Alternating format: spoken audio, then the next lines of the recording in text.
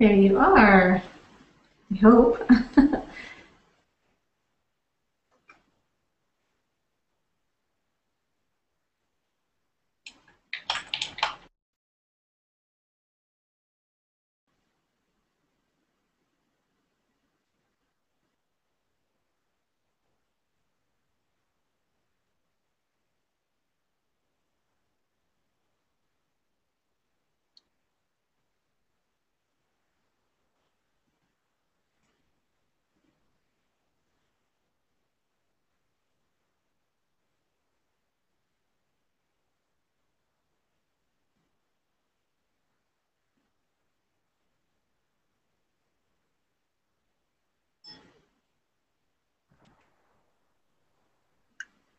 Oh. There you are. Great. well, you closed for a while, and I thought, oh, you're working on that for a long time, and then I realized you haven't moved. So. oh, whoops. uh, I was starting to worry a little bit. okay, we actually are broadcasting, so we're live. Okay. Hi. so yeah, uh, hello everybody. Welcome to CakeFu. We will uh, go ahead and get started in just a second. I wanted to just uh, explain how things work really fast. I did see in our little chat box that there are some newbies. So welcome to everybody that's new here. Uh, you should be able to see on the top of your screen uh, a picture that says uh, Cake Master Series presents Sharon Wee. Uh, and then down below that, you should be able to see a chat, uh, kind of an ask a question chat box. For those of you that have been here before, we've actually combined the chat box and ask a question all together in one. So there's, uh, there's just one spot there down below. Uh, Sharon, you won't see that because you have a different screen. And then, uh, so if you want to, Sharon, just click on the, the window that says the CakeFu Master Series presents. It will bring that up for you, and you'll be able to see that. Oh, perfect. So, okay, and then um, hopefully everybody can see things going. If uh, you can't, hopefully you'll just hit the refresh button and see things that way. And I think we are ready to go. So we'll pause for just a second and then we'll get started.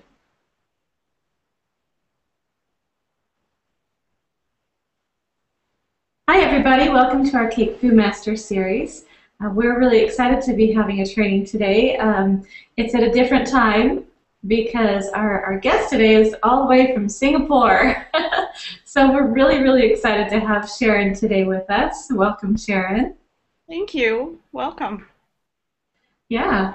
Um, so it's pretty early in the morning there for you, isn't it? Yeah, it's like 6.30 in the morning. a little bit early. Yeah.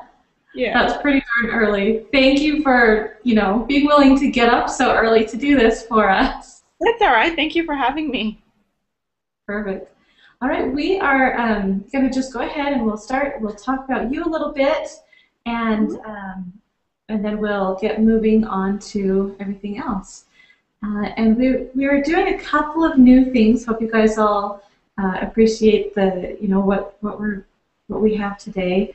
Um, just so that you know, again, there isn't a chat box on the right-hand side. It's all down on the bottom. And that is also the Ask a Question spot. So if you have questions for Sharon throughout the training, make sure that you go down there and type those questions down there. And we'll, we'll read from the questions uh, towards the end. Okay. So let's talk about you, Sharon. okay, let's start off with um, where you're from and, and how you got started into cake decorating. Um, I'm originally from Singapore, but I've been living in Sydney for about 13 years now. Uh, and I started cake decorating almost by accident. So I had finished university and got my first full-time job as a marketing assistant. My boss wasn't very nice. She wasn't the nicest person, and you know it was not very nice. It wasn't a very nice introduction to the working life. And I thought, you know, is this what life is about? You know, nine to five and being all depressed and sad about going to work the next day. And I wanted to find something to look forward to or a hobby. So I signed up for a cake decorating class because I always enjoyed baking, but I liked artsy things. So I signed up for a class and then absolutely loved it, got obsessed, and you know, back in back in those days, I think about six, seven years ago, there wasn't, I think YouTube wasn't around or there wasn't much on there. So I learned a lot through cakecentral.com and, you know, a lot of stuff online through Americans because um, that's where, you know, a lot of the cake decorating came from at that time and then from there, you know, played around a little bit. And then when people started teaching more classes in Australia, um, got a chance to do more classes there. And then about three years ago, I decided to quit my job to do this full time. So it's been almost, yeah, it's been almost three years now. So it's been really exciting. Well, good, awesome. And so you um, recently have a craftsy class that has come out. Yeah. This is actually your second, is that right? Yeah, the fondant animals. The first one is the castle cake. So in there, you know, we learn to do the castle, and then we also learn to do two different variations. So not only the princess one, but the medieval version, as well as like a sandcastle version. And um, the new one is is the fondant animals, and I think the training that we're going to do today kind of complements it as well. That's great. Awesome.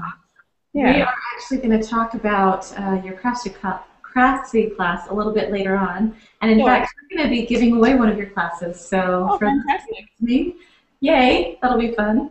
Um, yeah. So uh, back to you a little bit. Um, you, you say that uh, you you live in Australia mm-hmm. and you just travel to you know other places do you do you go back to Singapore often, more you know more than other places, or? Yeah, mostly because I started teaching here first, um, because my parents are still here, and I usually come back at least once or twice a year. I try to at least because that's kind of another home base for me. So it's nice to be able to have a home away from home as such.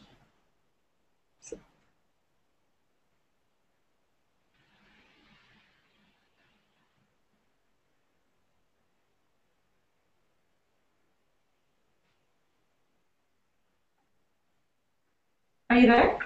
Yes. Oh, there we go. Okay, so it says on your on your list of things about you that you sent me, it says uh, that you miss the coffee most in Australia. Yeah. Um, I miss the coffee a lot. I didn't realize how much like how different it was until I started drinking coffee a couple of years ago. And I don't want to sound like a coffee snob, but I feel that the coffee in Australia tastes a lot better because I've been looking everywhere for good coffee, and I haven't found it yet, especially in Asia or anywhere else. So I love my coffee in the morning. That's very, That's very interesting. Okay. All right. Um, and then says, uh, it annoys me when, people I know say they're sorry, uh, but the cake they lovingly made for their friend, sister, son, daughter, partner is never gone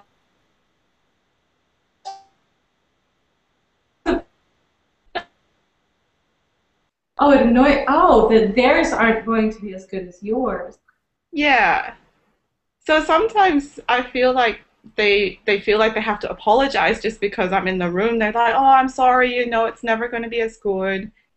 And it's like it doesn't have to be. You know, I do it as a profession, and you know, you're doing it out of love, and that I think that's what's more important. It's the effort and the thoughts behind it more than anything. And you know, people shouldn't feel the need to apologize just because you know they haven't done it as good as someone else i guess if they're especially when they're doing it for a loved one. So don't feel bad and that's don't really, feel sorry that's a good point. Yeah. That's a really good point. I like that. Okay. Um, and then the best advice you can give to somebody what would that be? It would be especially for a cake decorator is never stop learning. Um, I see a lot of people, or a lot of students rather, who are really afraid of doing things. You know, they're like, oh, I really want to try this cake, but I don't know how to do it. I'm really scared. And I think the point is not to be scared because, after all, at the end of the day, it is cake and you can just try. You know, if you buy the tools and materials and just, you know, take a day or two out and sit there and work it out, and you'll realize it's not so scary after all, you know, and never stop learning as well. Um, I don't think you'll ever ever finish learning. So, you know, always try and go to classes or find something new. And it doesn't have to be a cake decorating class. It could be an art class, you know, a flower arranging class, or anything that you know still encourages your creativity. I think is really important. That's very true. Well, and, and cake decorating is constantly evolving, you know, and there's always new techniques and new everything. I, I mean, I, I actually have some cake uh, dummies and stuff that I that I just threw away recently because they don't have the, the straight, you know, corner crisp edges that that is so popular now, and so I just these are outdated. They're not, you know, and it's just from a, a couple of years ago. You know, so everything's constantly changing, and and there's always something to learn. So you're you're absolutely right. Just have Yeah. to, you know, keep working, keep learning, and and keep up with everything. Yeah, keep up. And even, you know, when you join like online forums or online groups, it's, you know, getting getting to know each other and helping each other across the world because the way we do things in Australia is completely different to the way America does it or London does it. And, you know, by being able to share, which is really cool now that we have inter- the internet and, you know, like Facebook and all these communities, it's it's really great, you know, to learn all these new skills and techniques and methods of doing things. Yeah, that's it is very true, and that's what you know. That's what we're all about here at CakeFu, and that's what Craftsy's all about. And you know, you have your uh, Facebook group, right? Yeah. Your Facebook that you have quite the following on, so that's great. Thank you. All right. Well, uh, today we're going to learn about a um, how to do a figure sculpting piece that that Sharon has put together. It's so real, so cute. Thank you. so we're going to just jump right into that, and then after after this is all done, we will go through some questions, um, and then at the at the end we'll do a giveaway for Sharon's Craftsy class, which will be great, uh, and then. Um, I guess we'll we'll just go ahead and, and move right into the the little picture tutorial part and have um, Sharon walk us through everything.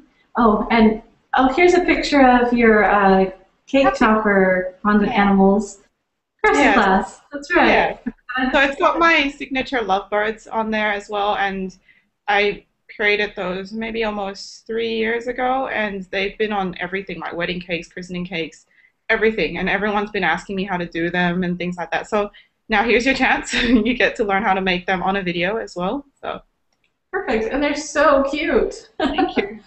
and I love the little bunny and the, the pig playing in the mud. Oh, they're they're all adorable. Thank you. So these are really cute, and so you show how to make these, and then the Yeah. little support inside of it, and all of that. Yeah, and I break down all, all the animals except for the birds into um, basic shapes. So they're all derived from those kind of basic shapes that once you master, you'll be able to make, you know, a whole bunch of different animals as well.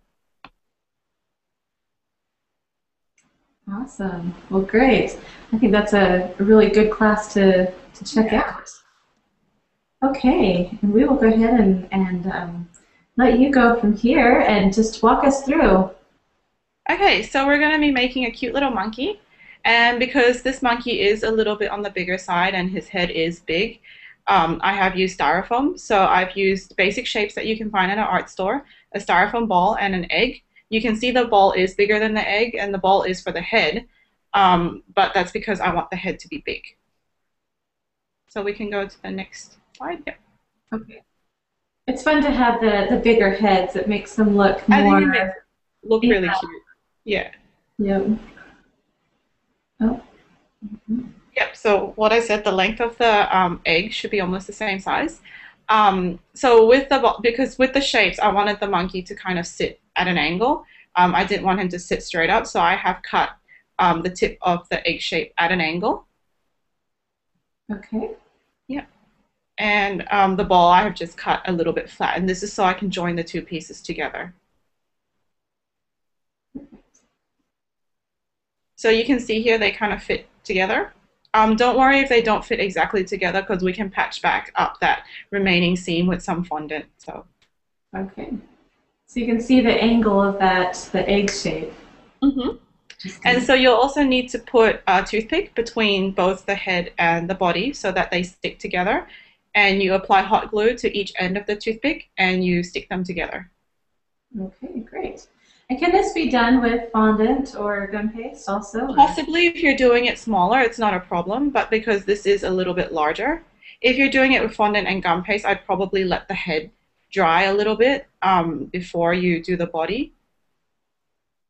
Okay. Or you know, you could always make it out of make the shape out of gum paste first and just let it dry like that shape that you've got on screen and let it dry for a couple of days before you cover it with fondant. Um, Okay. I've also inserted a skewer into the bottom of where the bum is going to be sitting on the cake so that it can the monkey can be inserted into the cake so it's not just balancing on top. Okay. Perfect. And then now here with that neck part, because it is quite skinny, um, if it's really skinny, it's actually quite hard to cover. So I've fattened it up a little bit, I guess, with a little bit of fondant. So you just roll and you wrap it around with a little bit of water.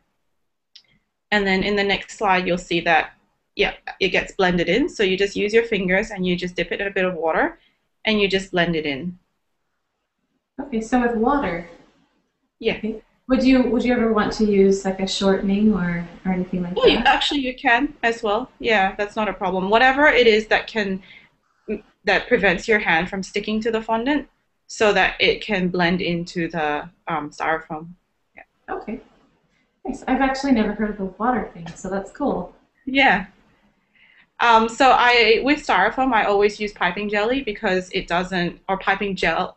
Yeah, piping jelly. You guys call in the U.S. Um, so it doesn't um, dry off as fast because if you use water on styrofoam, it beads off, and it actually dries off quite quickly. So the piping jelly um, is actually quite sticky. If you don't have that, you can always use jam. So not the stuff, not the jam with with pieces in it, but just jam to that to, to stick it on. So I rolled the fondant so it's a little bit um, a little bit thicker, and um, I'm going to cover it. So th- at this stage, if you use a lot of like icing sugar or corn flour when you're rolling out your fondant, it's going to be really difficult to blend in the seams. So as much as you can, try not to use um, too much of those those like corn flours or icing sugar. Okay. That's a very good tip. Yeah. So wrap it around, and you'll notice that I wrapped with all the seams. It's kind of like a ravioli or a dumpling. So I wrapped with all the seams at the front. I want all the seams at the front because that's where his belly piece and his face piece is going to go. So most of the seams will get hidden. Um, if you can also wrap it at the back, and no one will see it as well. So Okay. yeah. So now using scissors, you just want to cut off the excess. So you can see that I've cut it off flush against the um, against the styrofoam piece. If you don't cut it off flush and once you and you try and blend in the seams, you're going to get lumps. So you're going to get your monkey that's kind of round and then he's got a lump here. So you want to cut it as flat as possible. Okay. Perfect. And then with hands, um, I just blend in. So I hold the skewer closer to um, the monkey's bottom, and then from there I use that as a support while I use my hands to rub. So when you use your hands, you want to use this part of your hand, and I'm just using the warmth and the pressure to rub the seams away. Okay. And you'll yeah, and you'll find in the next picture if your hands are warm enough and if you work quickly enough, you'll get most of the seams gone. Um, the only time that you'll find that you know the seams don't really join properly is when you've either got too much corn flour, icing sugar, or um, if the fondant has already started to dry out. Yeah, but you can see there that it's pretty much pretty much gone. You, you Almost, yeah. so that's good. Okay.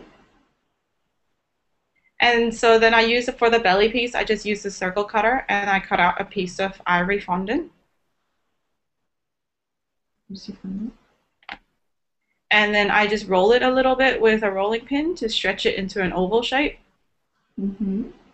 and then we stick it on to the belly of the monkey. And then I'm using my thumbs, you can see along the side, just to smooth and flatten down the edges a little bit so it doesn't look so so much like a, just another piece stuck on. It looks like it's part of the body. Yeah. Mm-hmm. Softens it. And then for the head, same thing, large circle cutter. So here I am just measuring the um, size of the circle cutter that I need. Okay. And is there like a something to look for to gauge that by? What?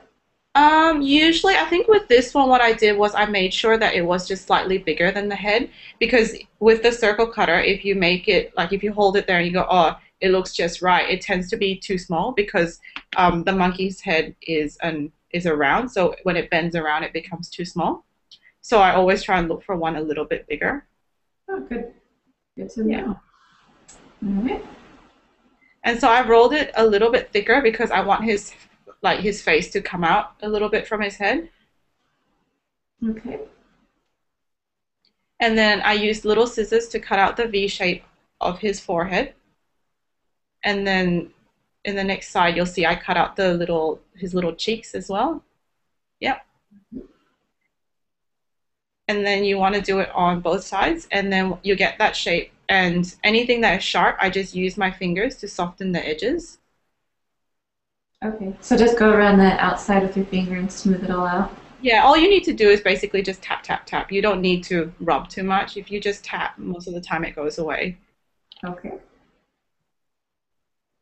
So stick it on to the front of the head.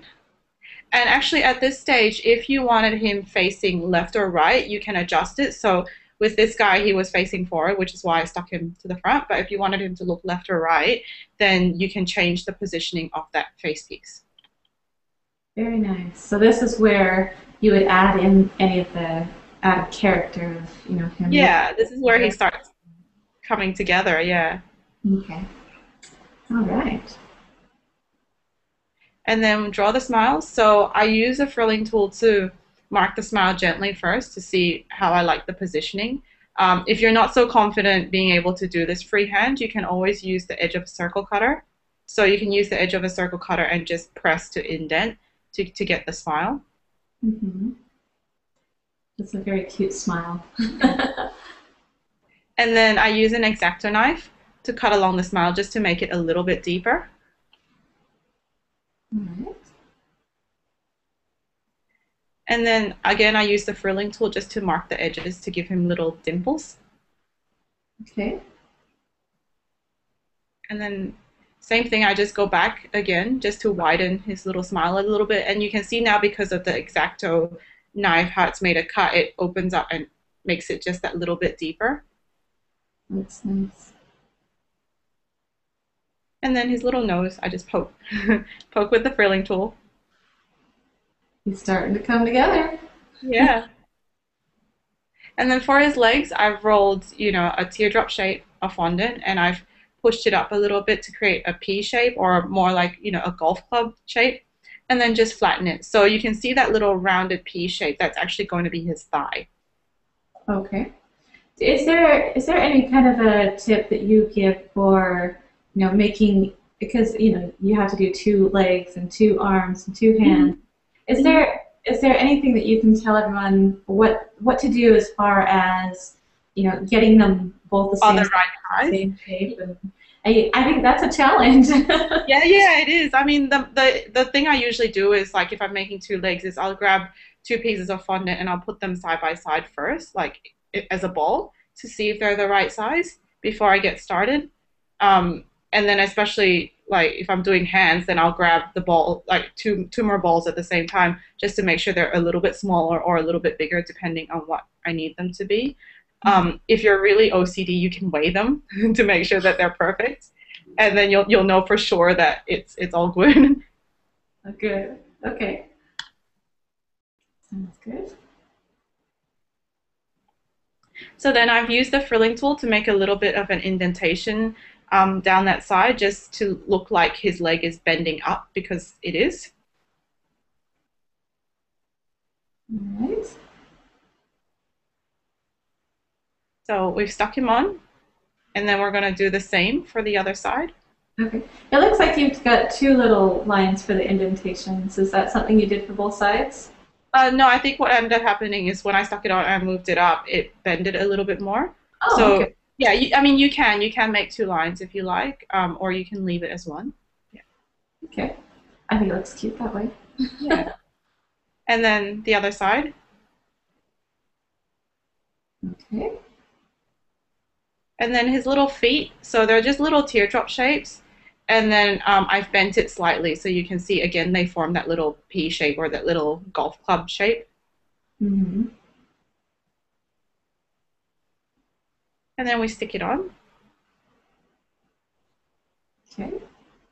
And then for the arms, I rolled a long teardrop shape. Um, and then I flattened the ends so it's it's more of a cone shape. Okay. And then I've used the frilling tool to kind of um, dig and create an indent for the hands. So all you want to do is stick it in, and then usually I just twist it a little bit so it creates kind of like a divot. Oh, okay. And is that other little ball, is that for the other arm? Yeah. Okay. And I create the divot so that the hands can sit inside. Because if you notice that with the feet, they're sitting directly on top of the, the leg, so it's okay. But with the hands, because they need to hold on to something, um, they need to be anchored in into the arm piece. Um, so for the hands, um, I rolled two teardrops again, and then flattened slightly. And all I've done is cut a little V. So you're cutting this V out, so that you've kind of got little mittens. And you'll notice that, you know, it is a teardrop shape, so that little peak at the end where it's a teardrop shape will go into the divot of the hand. Okay. And that's what we'll attach. Yeah. I think that's a really good way to attach, you know, little pieces like that that otherwise might might fall. Yeah. So well there there is attached. So I've just put a little bit of water and just attached it in there. Okay.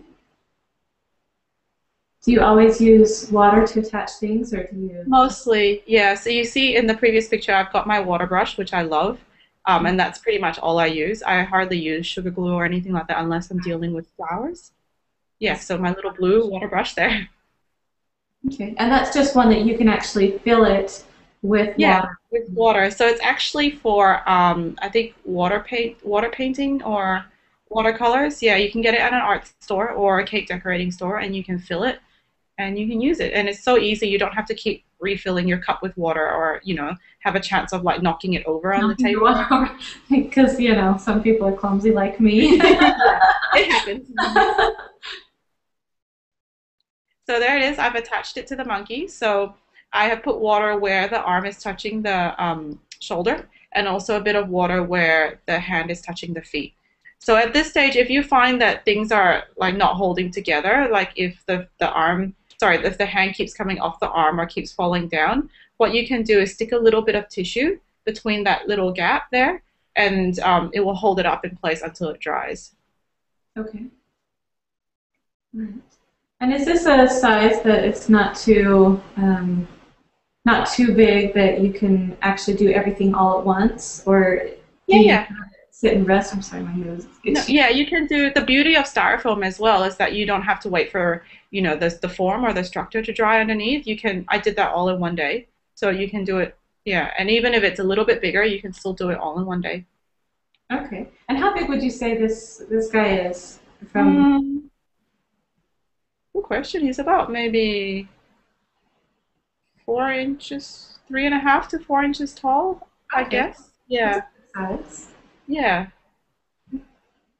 Okay. And then we've got the And tail. his little tail. So I've made his tail towards the end because um, I still need it. I need it firm, but I also still need it a little bit pliable so that um, when I put it against him, it can still have a bit of movement if I need to adjust. So I've just made it into like a little S shape, and I've let it dry slightly. Alright. So while it's drying, I made the hair, and the hair is just little pieces of um, fondant that I've rolled into teardrop shapes, and I've stuck them together with the pointy side up. Okay. and then stuck it on top of his head. I love the the little hair. That's very cute. And then for his ears, I've rolled out two ball shapes and I flattened it. And then with a balling tool, I have indented it. So I, you can see that the ball too ha- is more on one side than on the other. So that, you know, because the skinnier side, I'm actually going to cut off and the thicker side is going to form the rim of his ear. Okay. It's a really quick and easy way to do an ear. Yeah, and then see, I've cut off a little bit at the end so that I, I can stick it onto the head. Mm-hmm. And then stick it on with a little bit of water. And I've just flattened it a little bit so that it's not like a lump that has come out of his head. It's more like a general, like a gradual piece that's coming out. It's very good.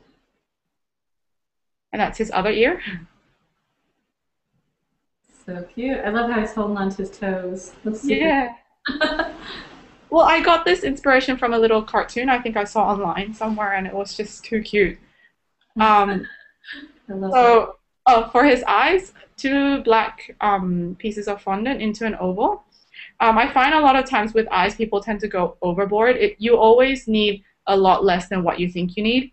So if you hold it there and it's bulging out, it looks really weird. So what you want to do is have less, but flatten it to make it bigger if you need to, so it comes out just a little bit, but not like bulging. Mm-hmm.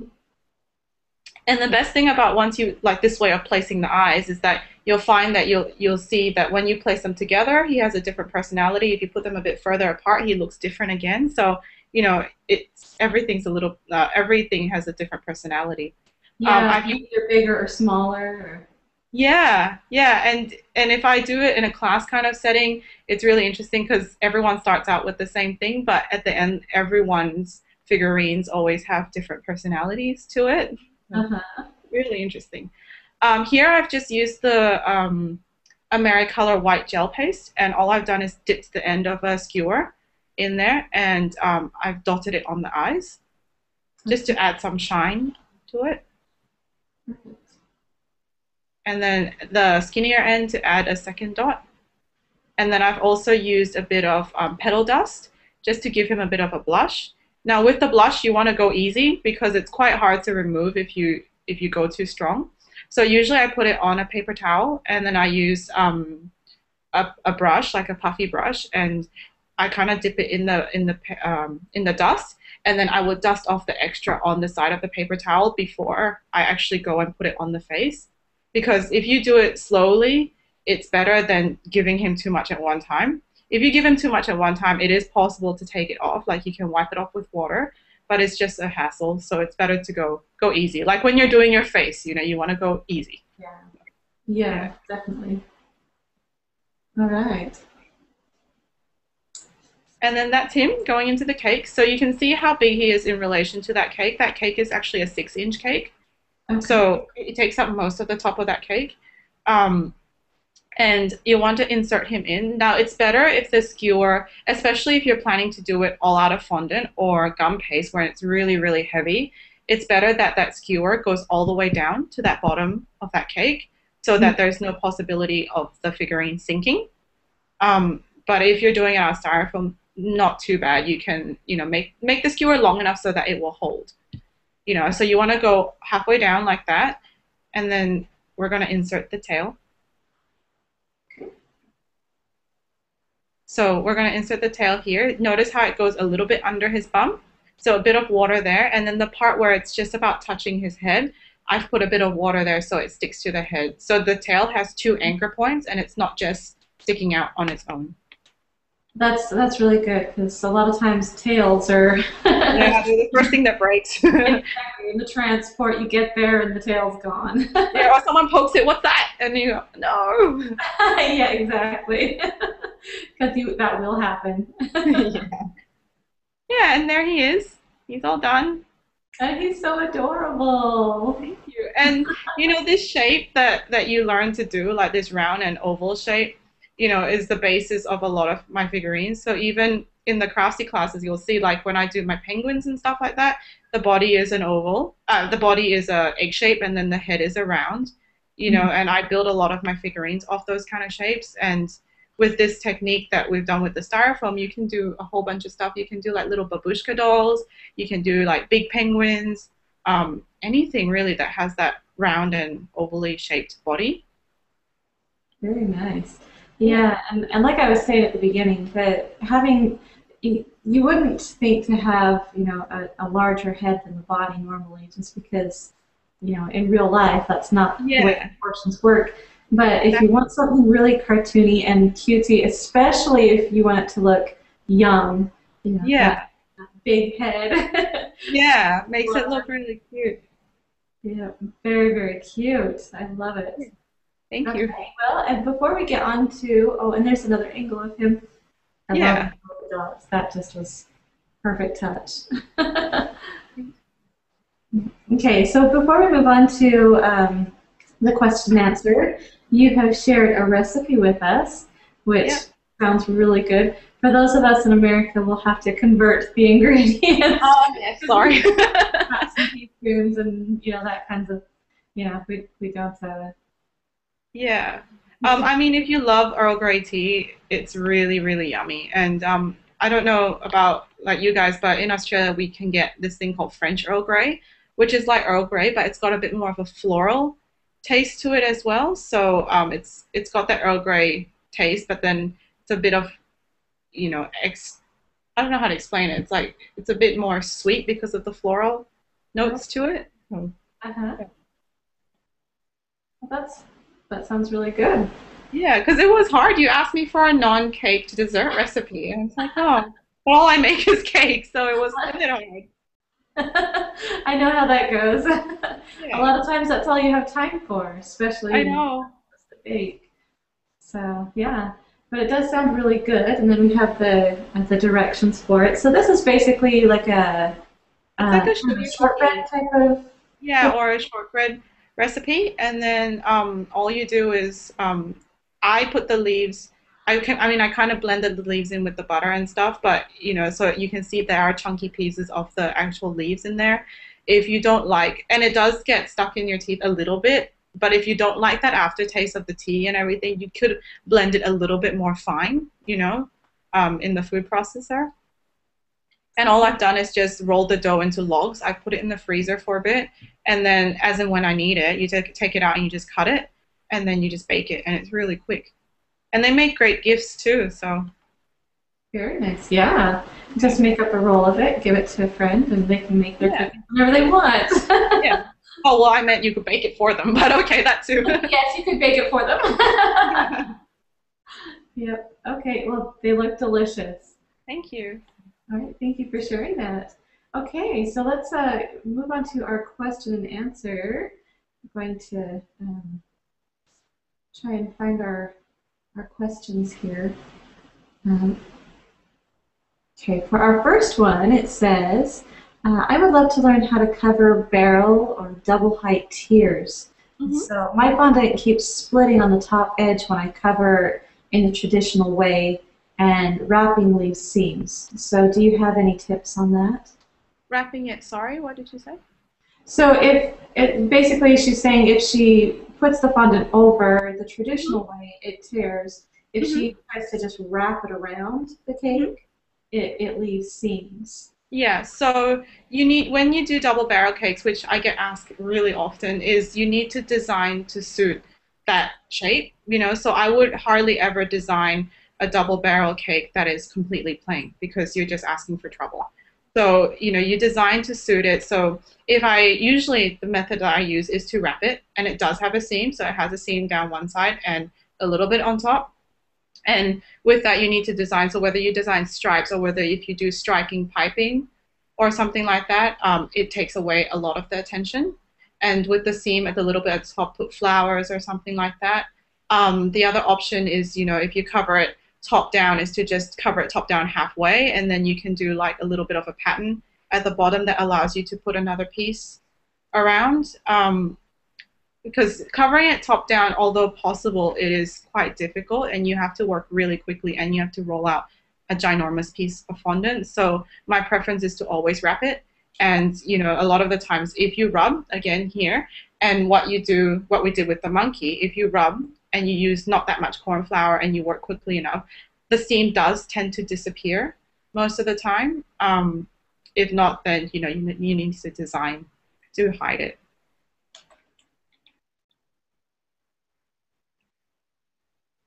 Okay, um, for those of you that are wondering, I forgot to mention this at the start. Um, if you guys have any questions, uh, go ahead and type them into the the chat box down at the bottom, and that's going to be uh, where to uh, to ask the questions there. Okay, so um, next question is, can we cover with modeling chocolate rather than with fondant? Um, you can. I typically don't use that much modeling chocolate because I've only started using it in the last year or so um, because I'm a little bit lazy and you have to make modeling chocolate yourself and you can't, not like in the US. In Australia, you can't really buy it as is yet. If you could, I'd probably use it more often. Um, but you could cover it, but modeling chocolate doesn't bend around very well. You know, it, it's a little bit more firm. So when you're trying to bend it around things, it's a little bit more stubborn. It doesn't just drape. It tends to hold its shape a little bit more. So um, although I suspect it is possible, it would be quite difficult to cover a whole cake with modeling chocolate. Okay. Uh, and then how about your figurines? Do you do mm-hmm. your figurines with modeling chocolate ever? Uh, no, because again, you have to make it, and then you have to make different colors, and um, yeah, but it is possible to do it with modeling chocolate, you know, because it is a little bit more firm, mm-hmm. so it won't it, it won't like sag or anything like fondant does. So you can do it out of modeling chocolate. But if you were to do something like the monkey, for example, it would be so heavy, especially at that size. You know, so a lot of the times, especially when you're using cakes that have buttercream and things like that inside, it's all very soft. And if you put something really heavy on top, like chances are it has a it has a tendency to get ripped off the cake or shift onto the cake as well. So if you're doing something like that, then I would suggest putting the figurine on after you get there. Okay. Yeah. All right. And you know the the fact that uh, modeling chocolate blends really well, but it looks like your fondant blends really well too. And that kind of leads to a, a, few questions. A few people have asked, uh, what is your favorite uh, fondant and gum paste to use?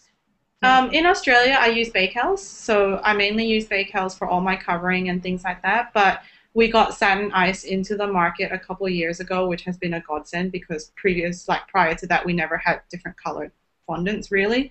So, and then I use satin ice for all my colors. So like red, black, um, especially the brown. I love the brown because it's a true brown. It's not like when you use um, gel paste um, brown, it turns the fondant a little bit red sometimes.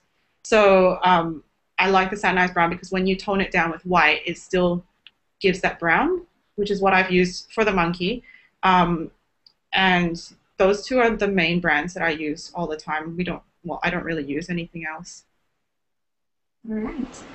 Okay, we have another question. Where do you get your inspirations from? Um, a lot of the time is looking online. So when I look, you know, sometimes it's just walking somewhere and I see like a pattern or a print and I thought, oh, that's really cool. Or if I look through, especially like kids magazines and things like that, and I see, you know, um, a little toy that I think is really cute.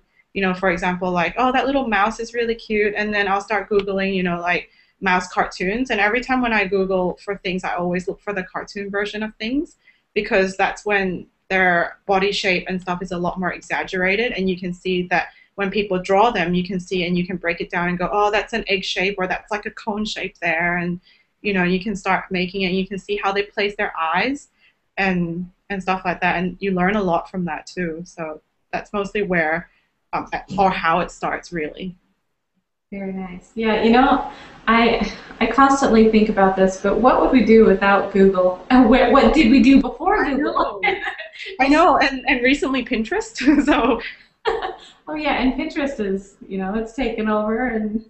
I know, I know, and it's, it's amazing. I mean, like starting out seven years ago till now, like there's so much stuff available for decorators now that you know I never had, and I'm sure people who started ten years ago never had, and you know, mm-hmm. it's amazing to see how we've evolved with all this. Yeah, it is amazing, and we are so lucky to have all of it. You know, I, yeah. Honestly, I think I think a lot of us get most of our inspiration from the internet, from you know, from Google or yeah, or other decorators, or you know, other decorators. Yeah, and Pinterest. Yeah. yeah. Yeah. Yep. okay. Let's see.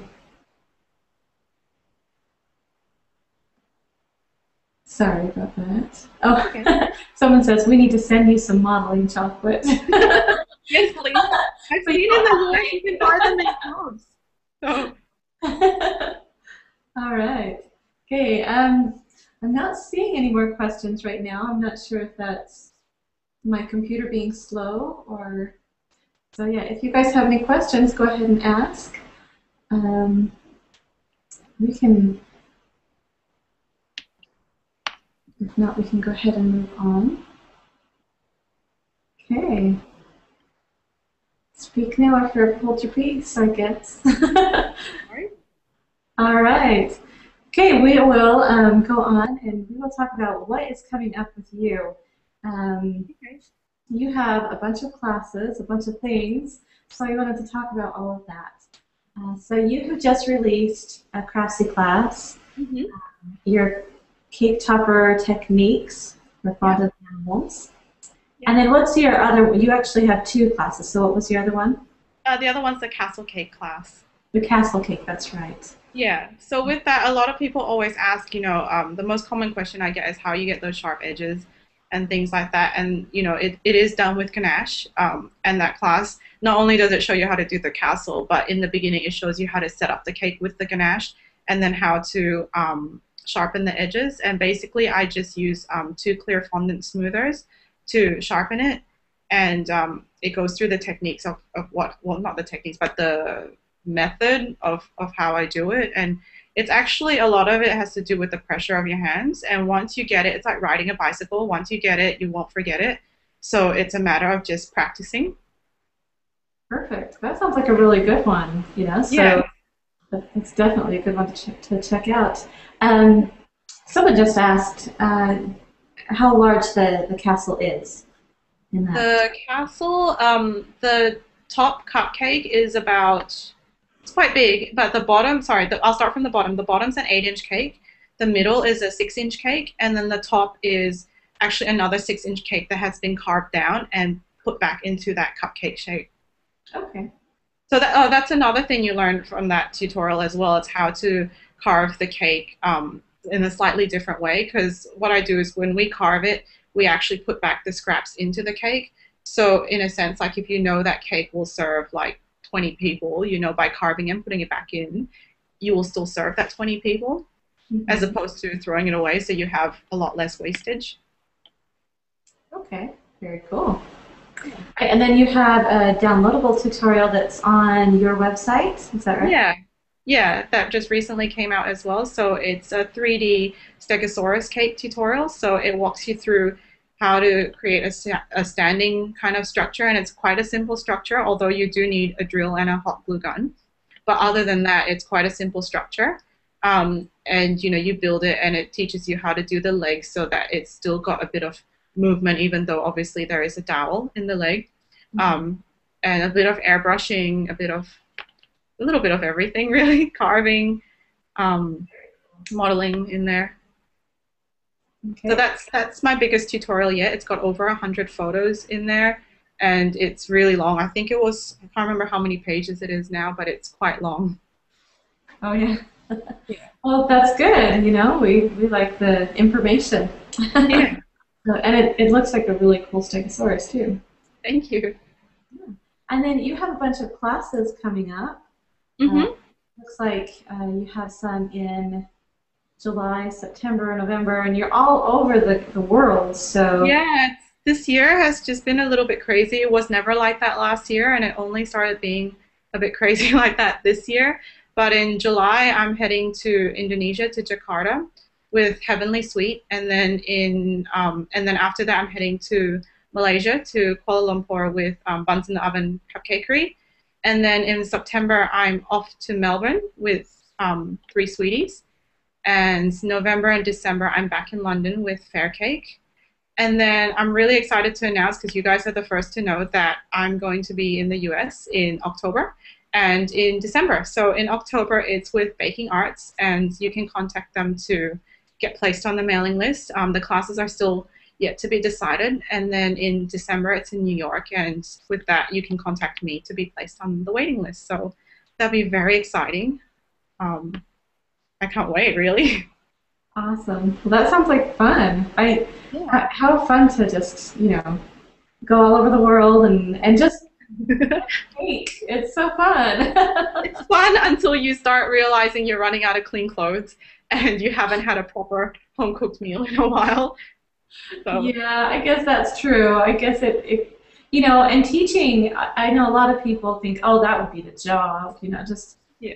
just teach all the time. But I, all of us that have taught, you know, that it's a lot of work getting ready for the teaching. You know, you have to oh yeah, just the amount of prep is is unbelievable, and then the amount of cakes that a lot of my hosts have to bake is like hundreds, you know, and and I just see them baking day and night. And a lot of the times, you know, they run out of space. Like right now, I'm in Singapore, and they had to hire in a um, like an extra fridge and stuff to to store all the cakes, and you know, still they ran out of space, so they can only bake to whatever space they have. And only when we start running the classes and, and depleting the stock, they can start baking again. Yeah, so it's it's crazy. Yeah, it, it really is. It really is. So everybody out there that's learning from your teachers, be grateful for them. They do a lot of work. so yeah, um, we did have somebody ask uh, um, ask about what where is the site for the Stegosaurus tutorial. Um, again, Oh, it's on my website. yeah. Yeah, and it's under the um, if you go to the online store section, it's under the online tutorials um, bit under there. So I've got that plus a whole bunch of other stuff as well. Okay. And then the Craftsy class, we're going to actually uh, share a link with you guys in just a minute. Um, let's see. And also another place where they can contact you is through Facebook. So you have your Facebook page. Uh, oh, I just put we. It's two E's. I'm sorry. Where? And we we Oh, love yes. W E E because of your last name. Okay. so Yeah. W E E Love Baking uh, on Yeah. Facebook. I'm sorry about That's messing okay. that up. I'm sure they'll work it out. Yeah, it's okay. Yeah. Okay. So so yeah, go find go find Sharon on Facebook. We W E E Love Baking, and uh, her her website weelovebaking.com. And yeah. Okay. So are you guys ready for the the giveaway? Um, I think there's a little bit of a delay because we've got a few more questions after I moved on. So Oh, okay, no problem. if we have a chance, we'll get to a couple of them Okay. after we're all done.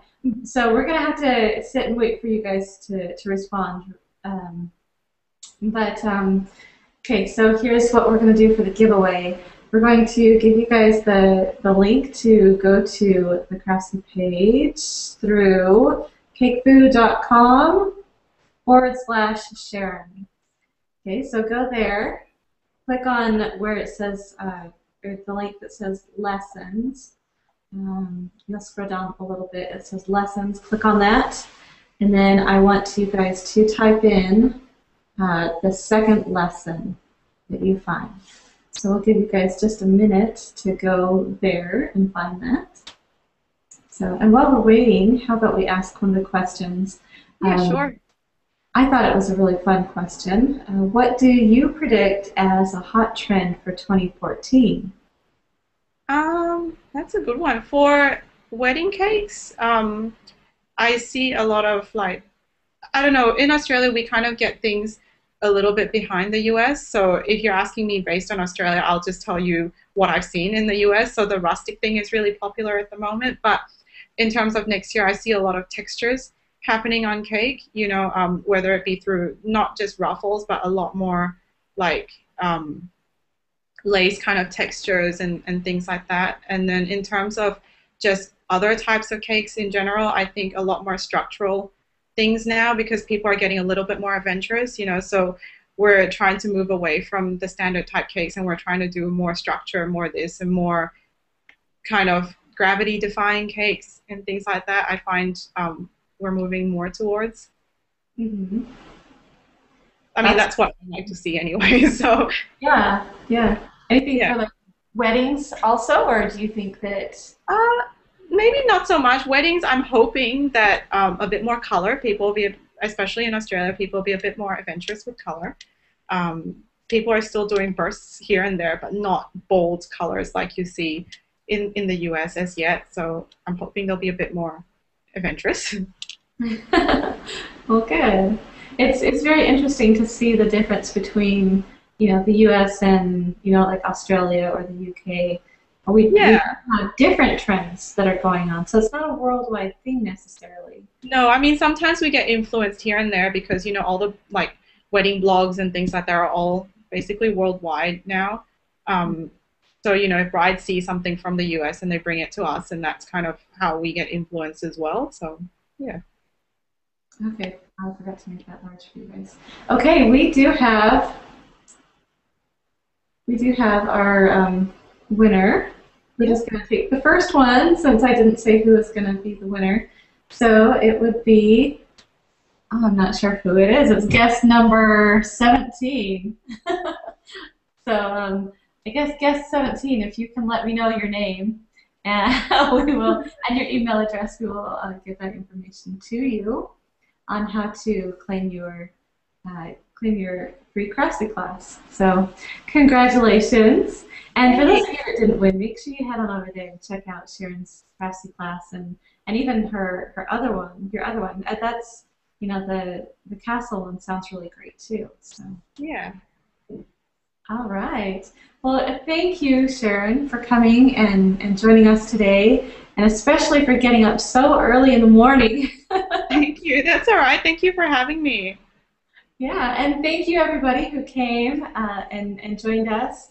Uh, I, and thanks to all the, the new people, all the people that have been with us from the start. You guys are awesome. And uh, if you guys aren't friends with us on Facebook, um, go ahead and find us on Facebook. We're uh, CakeFu, just just CakeFu on Facebook. And uh, I I uh, started a comment, or a, I, I guess I made a comment on there. I'm going to start calling you guys my CFFs, my CakeFu friends. I like that. I think that'll be kind of fun. Yeah. anyway, again, thank you so much, and we will see you guys all next time. Thank you. Bye. Bye.